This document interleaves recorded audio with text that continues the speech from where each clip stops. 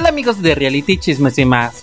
Amigos, el team del cuarto morado se está destruyendo, ya que ahora Laura está enojada con sus compañeros y sobre todo con Ser Bonnie, ya que la dejaron sola cuando la casa se le fue encima tras su pelea con Natalia. Y es que ya no puede creer que le hayan dejado su suerte cuando en conjunto han hablado mal de Natalia y le propusieron tirarle con el tema de su abuso y violencia doméstica en la cena. Pero amigos, ahora tenemos que ser Bonnie ha estado sintiendo que algunas personas de su cuarto ya no lo quieren y podrían nominarlo. Es más, Juan ya fue con él a asegurarle que los del Team Morado votarán por él.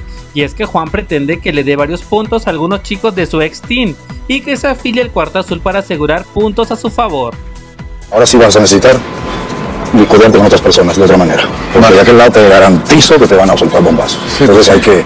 Y vamos a enfocarnos ahora en líderes. Y amigos, Laura ya habló y mencionó que Cervoni le contó que Natalia le había robado el marido a otra mujer y le habló de los escándalos de la actriz en el reality Survivor, donde Natalia destacó por tener problemas con varias de sus compañeras, incluida una participante de la tercera edad. Y es que Cervoni al parecer se estudió a todos sus compañeros y lo que han hecho en los medios. Así como amigos, ahora somos testigos de cómo Daniela oficialmente es la primera que confronta a Salvador por todo lo que ha dicho en la casa y ha negado, ya que tiene claro que él fue quien creó el plan de humillar a Natalia, claro, con ayuda de ellos. A pesar de que lo que hiciste, porque la verdad sí estoy bien sacado de onda y no me gustó nada y está súper triste. Como tampoco me las cosas que tú has hecho. Por eso, mi no me como, yo como, como le no- hablaste a Laura, le eh, tu Sí, actitud. pero todo. dime, corrígeme, güey. no confíes. No confíes si no quieres, pero me puedes corregir. Y bueno amigos, suscríbanse para más noticias, cualquier otra novedad estaremos al pendiente.